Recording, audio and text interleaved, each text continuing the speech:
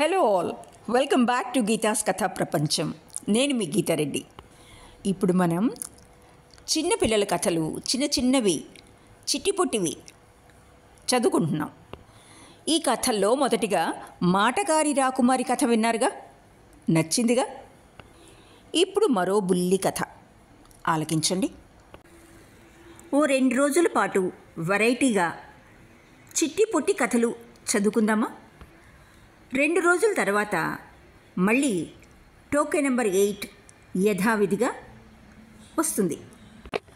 అక్బర్ సవాల్.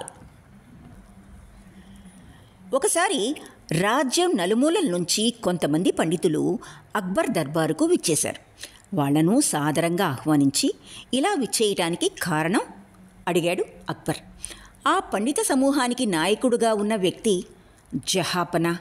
ఎన్నాళ్ళ నుంచో బీర్బలే మీకు సలహాదారుగా ఉంటూ వస్తున్నాడు. ఇంకెన్నాళ్ళని అతనే ఉంటాడు? మేము ఎందులోనూ బీర్బల్కి తీసిపోం. అన్ని విషయాల్లో అతనితో పోటీ పడగలం. కాబట్టి మేము మీకు సలహాదారులుగా అర్హులమే. కావాలంటే మాకు పరీక్ష పెట్టి చూడండి. నెగ్గితేనే మాకు ఆ పదవినివ్వండి అన్నాడు. ఆశాంతం విన్న చక్రవర్తి సరే అంటూ తన నడుముకు కట్టుకున్న పట్టు వస్త్రాన్ని విప్పాడు. దాన్ని ఆ పండితులకు చూపిస్తూ నేను ఈ నేల మీద పడుకుంటాను. ఈ వస్త్రంతో పూర్తిగా నన్ను కప్పండి. అలా మీలో ఎవ్వరు కప్పగలిగితే వారిని నా సలహాదారుగా నియమిస్తాను అన్నాడు. అలాగే జహాపన అన్నారు పండితులంతా ముక్త కంఠంతో. చిన్నగా నవ్వుతూ అక్బర్ తివాచీ పరిచిన ఆ నేల మీద పడుకున్నాడు. పండితులంతా ఒక్కొక్కరిగా ఆ వస్త్రాన్ని అక్బర్ మీద కప్పడానికి ప్రయత్నించారు. ఆ పట్టు వస్త్రం కాళ్ళకొస్తే తలకు తలకొస్తే కాళ్ళకు సరిపోవటం లేదు. వాళ్ళ అవస్థ గమనించి బీర్బల్ని పిలిచాడు అక్బర్. అప్పుడు బీర్బల్ ఆ వస్త్రాన్ని తీసుకుని జహాపన కాస్త కాళ్ళు ముడుచుకుంటారా?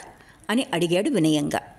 తప్పకుండా అంటూ అక్బర్ రెండు కాళ్ళను పొట్టలోకి ముడుచుకున్నాడు.